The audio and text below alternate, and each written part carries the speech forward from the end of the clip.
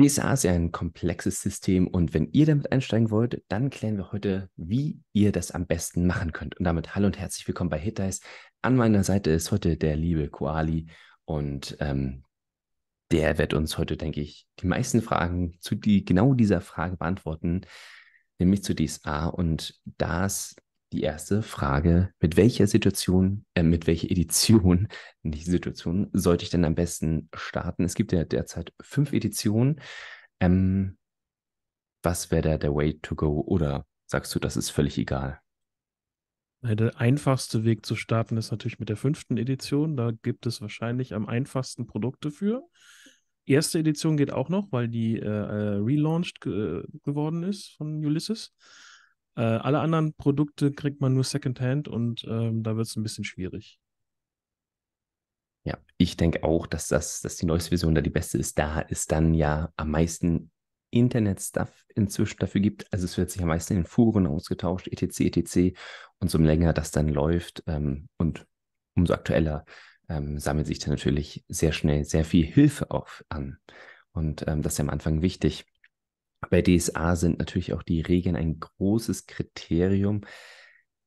Muss ich die Regeln können? Sagst du Schnellstarter zum Anfang? Oder soll ich mir irgendwelche Regeln durchlesen? Es gibt ja bei DSA unendlich viel Regelwerk. Oder ist das gar nicht so viel? Ja, man muss da mal ein bisschen äh, vorsichtig sein. Ähm, die DSA-Community, so meine, mein Eindruck hat so die, die Tendenz, wenn es Regeln gibt, dann will ich die auch benutzen. So. Äh, und es gibt wirklich sehr, sehr viele Regeln, aber ähm, sehr, sehr viele optionale Regeln eben auch, die man eigentlich nicht benutzen muss. Ähm, und das Grundgerüst der Regeln ist eigentlich relativ überschaubar. Und es gibt auch eine sehr schöne ähm, Regel-Wiki im Internet und in der man sehr schnell auch über die Suche ganz viele Regeltexte sofort finden kann. Und die sind halt alle umsonst auch einsehbar. Ah, okay. Guck mal, das wusste ich zum Beispiel gar nicht, dass es so handhabbar tatsächlich bei DSA da ist. Das ist natürlich eine große Unterstützung. Ich kenne das halt auch so, dass es viele in der DSA-Community gibt, die Abweichungen nicht so optimal finden, um es vorsichtig ähm, auszudrücken. Aber ich denke, Abweichungen gehören in unserem Hobby so ein bisschen zum Thema und ich denke, du bist ja auch ein großer Vorreiter dessen. Ich kenne, glaube ich, sonst nicht so viele, die sich das offen trauen. Ähm, Aventurien, so heißt nämlich der Kontinent, falls ihr es nicht wisst. Oder Welt, ist, ist glaube ich, ein Kontinent, oder? Kontinent, ja. Die Welt heißt Leere. Ja. Ah, okay, siehst du. Da Stein, werde ich schon wieder von, den, von der DSA-Community gerade total gesteinigt. Ähm, ja, die Aventurien bespielen mit anderen Regeln und wenn ihr nur in die Welt reinschauen wollt, ist es, glaube ich, auch machbar oder? Ja, ähm, ist auf jeden Fall machbar. Es ist ein Alleinstellungsmerkmal von DSA und äh, ist es natürlich, dass der Hintergrund und die Welt sehr, sehr detailliert beschrieben ist. Ähm, das hat sich so seit den äh, Entstehungsjahren von DSA irgendwann in den 80ern ähm, sehr, sehr, hum also homogen will ich jetzt noch nicht mal sagen, aber sehr stringent entwickelt und ähm, es gibt auch immer einen Metaplot und es gibt halt ganz, ganz viel Zeug, was geschrieben wurde in Romanen und äh, also wenn man da alle wirklich alles wissen will, dann ist man sehr, sehr lange beschäftigt. Und ähm, so Leute wie ich, die in den äh, Mitte, Ende der 80er angefangen haben, die sind so groß geworden mit dem, mit der Welt und haben das so alles spielerisch miterlebt. Und für die ist das relativ einfach, da durchzusteigen, weil es ist halt ganz homogen mitgenommen haben während dem Spiel. Ähm, Leute, die jetzt komplett neu da reinkommen, die können sich, könnten sich natürlich auch total überrumpelt und über, überfordert fühlen von der Masse an äh, detaillierten Beschreibungen, die es da gibt. Aber da kann ich immer nur eine Werbung machen dafür, einfach, es gibt genug Fleckchen, die man sich selber ausdenken kann oder wo man einfach irgendwas verändern kann. Ähm, damit müsst ihr einfach ein bisschen mit eurer Gruppe ähm, ins Gespräch gehen. Was wisst gewollt? Was, was möchtet ihr überhaupt machen? Und ähm, gerade die Einsteigersets von DSA, also das, das Einsteigerset schlechthin, das Geheimnis des Drachenritters, das hat auch so eine kleine regionale Beschreibung, das so einen ganz kleinen Teil von Aventurien beschreibt, sodass man da erstmal anfangen kann, da zu spielen und ähm, ja, sich dann so nach und nach so die einzelnen Regionen vielleicht ähm, erarbeitet, wenn es dann äh, von Interesse ist der Gruppe, dass man da mal spielt. Da gibt es Regionalspielhilfen zu den verschiedenen ähm, Abschnitten zu den verschiedenen Ländern und wie die in Beziehungen stehen und so. Und ähm, da gibt es sehr, sehr viel. Da hat Ulysses jetzt auch in der letzten Zeit ähm, ein bisschen auch seine Veröffentlichungsstrategie ein bisschen umgestellt. Ähm, diese Regionalspielhilfen, die waren immer in einem Buch bisher und da war alles zusammengefasst, so Spezialregeln für das jeweilige Volk oder so oder für die jeweilige Religion, äh, Religion oder Region und ähm, zusammen mit dem Fluff. Und dann gab es noch irgendwie Regionalabenteuer, die halt für die bestimmte Region gemacht wurden, die dann ein bisschen die Region vorstellen und wo man sich ein bisschen reinfühlen kann. Ähm, mittlerweile haben sie die Galle getrennt und es gibt irgendwie drei verschiedene Bücher. Es gibt jetzt einen, einen reinen Fluffband. Wenn ich nur was wissen möchte über die Region und überhaupt keine Regeln haben möchte, dann schaue ich mir nur den Fluffband an und habe dann halt ähm, nur das, was jetzt gerade da ähm, passiert in dieser Region. Dann habe ich noch ein Band mit Regeln, für die, die das haben möchten und ein Band mit so Mysterien für Spielleiter. Also so ein bisschen, was, wo könnte ich Plothooks haben, was ist spannend und wo gibt es Geheimnisse in der Region. Und ähm, in diesem Band ist dann auch immer noch so ein, so ein Einsteigeabenteuer mit drin, das halt ihm diese ähm, Region ein bisschen weiter vorstellt. Also man könnte auch mit so einem Band halt anfangen, sich die drei Bücher holen und halt das Grundregelwerk ist, denke ich, ähm, ob, ähm, obligatorisch und dann halt irgendwie schauen, dass ich mir das äh, draufpacke und dann bleibe ich halt in dieser Region und spiele da erstmal. Und ähm, ja, genau. Und dann habe ich da Spaß hoffentlich.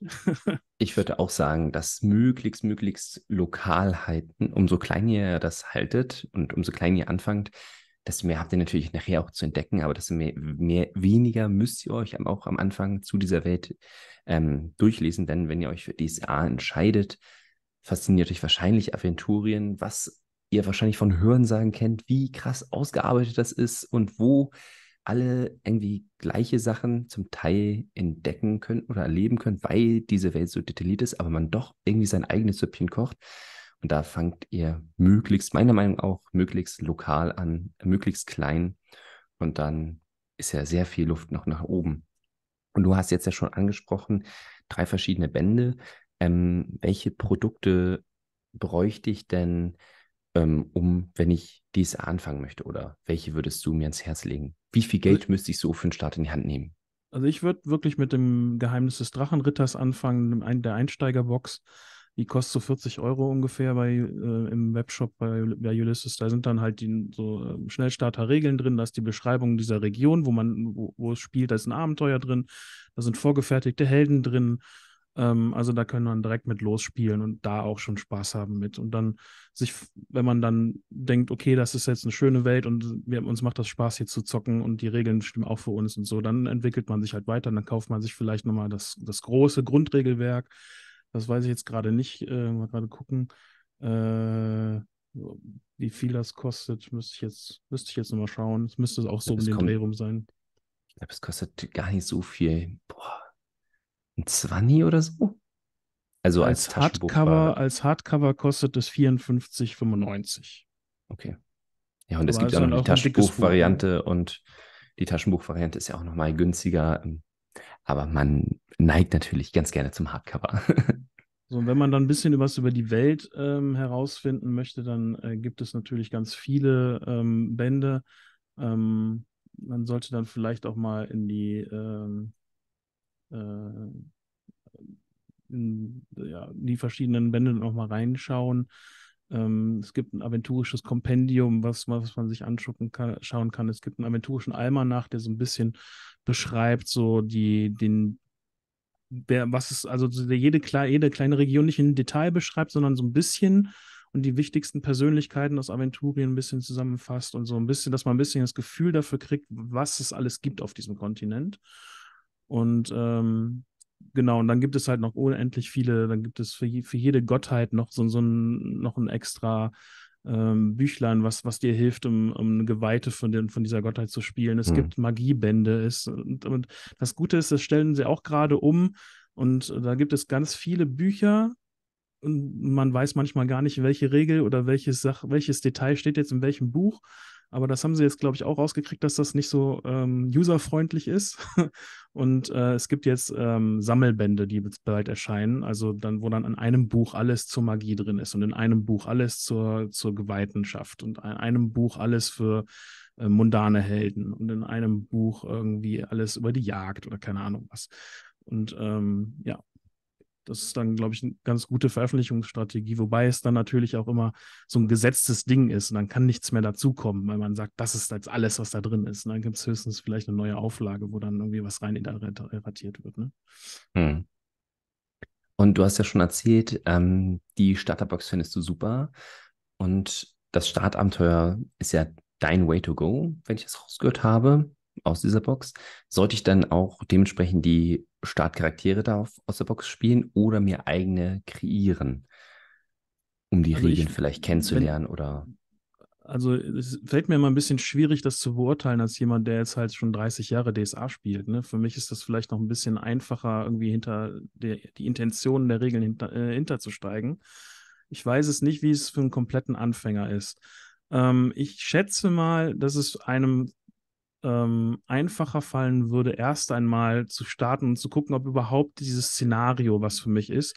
Erstmal mit einem vorgefertigten Helden zu starten, vielleicht sich mit der Spielgruppe so mal hinzusetzen und mal zu schauen, äh, wie sind denn diese vorgefertigten ähm, Helden denn generiert? Oder mal vielleicht auch mal einen eigenen Gen Helden nebenbei generieren oder mal versuchen nachzuvollziehen, was die da gemacht haben oder so.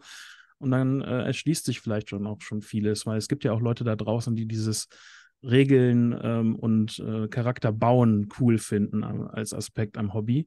Und ähm, wenn ihr das dann machen wollt, könnt ihr das natürlich auch äh, mit der Starterbox da auch ganz, ganz gut machen. Hm. Ich glaube, euch draußen hat sich inzwischen schon sehr viel erschlossen. Jetzt nur noch die Frage, hättest du für einen absoluten Einsteiger vielleicht auch Spielleiter-Einsteiger oder Spieleinsteiger, man weiß es ja nicht, wer jetzt gerade zuschaut, ähm, noch irgendwelche nützlichen Tipps, wo du meinen würdest, das müsste man als Einsteiger vielleicht wissen mit deiner super langen äh, Erfahrung. Außer natürlich also, deine Let's Plays zuschauen, wo man vielleicht über die Spielwelt viel erfährt.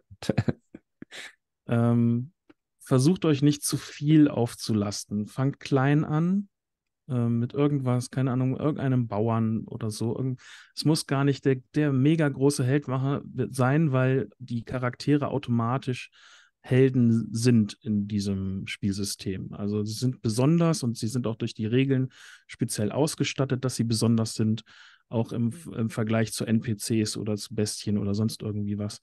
Und ähm, ihr werdet euch durch die Abenteuer, glaube ich, selbst schon als Held fühlen, auch wenn ihr einen Imker oder einen Bauern spielt. Das ist auch so ein bisschen so auch das, was DSA so ein bisschen ausmacht. Man spielt so Low-Bob und bringt den halt dazu, dass er ein Held wird oder, ne, oder eine Heldin, je nachdem. Ne? Mhm. Und ähm, ja, also fangt mal klein an, schaut mal, wenn es euch Spaß macht und wenn, wenn euch das keinen Spaß macht, so, so einen ähm, Low-Charakter zu spielen und den irgendwie hochzuarbeiten oder ähm, mit dem Helden Geschichten zu erzählen, das ist einfach so eine Heldenreise. Man, ne, auch Harry Potter fängt klein an oder Frodo fängt klein an bei Herr der Ringe, ne? Und die entwickeln sich dann halt über die Zeit.